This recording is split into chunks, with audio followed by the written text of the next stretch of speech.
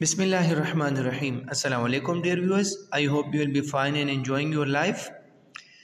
Today I brought a new topic for you people that is about daily sentences. This will improve your spoken English. It is in English as well as in Urdu. Let's start. रोज़ाना English बोलचाल के लिए अहम फ़िक्रात where to go कहाँ जाना है enough is enough बहुत हो गया। आर यू गोइंग क्या तुम जा रहे हो? नॉट एट ऑल बिल्कुल भी नहीं।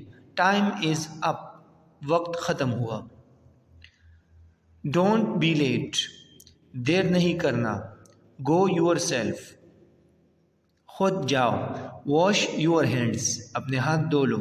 कीप इट अप इसे जारी रखें। इट्स ब्यूटीफुल ये खूबसूरत है। सम अदर टाइम किसी और वक्त गिव मी अ कॉल मुझे फ़ोन करना। कॉल मी अगेन मुझे दोबारा कॉल करो।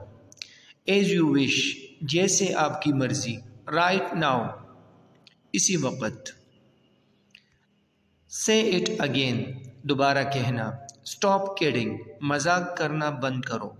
वट नॉनसेंस क्या हमाकत है? डोंट मिसलीड मी मुझे गुमराह मत करो। लेट हिम गो इसे जाने दो। वेयर आर यू आप कहाँ हैं? आर यू श्योर क्या आपको यकीन है? दैट्स नॉट फेयर ये दुरुस्त नहीं है। आर यू सीरियस क्या आप संजीदा हैं? दैट्स फेयर ये मुनासिब है। आई एम नॉट इंटरेस्टेड मुझे दिलचस्पी नहीं है। और रियली क्या वाकई? डोंट डू इट ये नहीं करो। आई लाइक दैट मुझे वो पसंद है। नो वे हरगिज नहीं। हैव अ नाइस डे आपका दिन अच्छा गुजरे।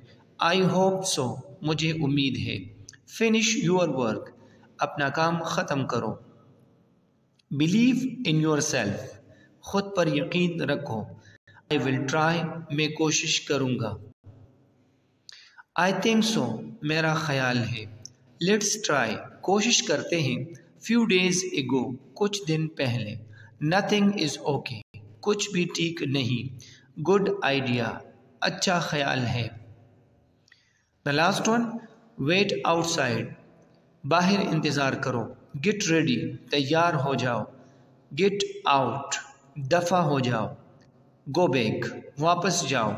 कम विद मी मेरे साथ चलो dear viewers These are daily sentences. This will improve your spoken English. Those students who want to speak fluently and fast in English, they have to learn these sentences and do practice on daily basis. I hope you will improve your spoken English by these sentences. See you in next video. Take care. Allah Hafiz.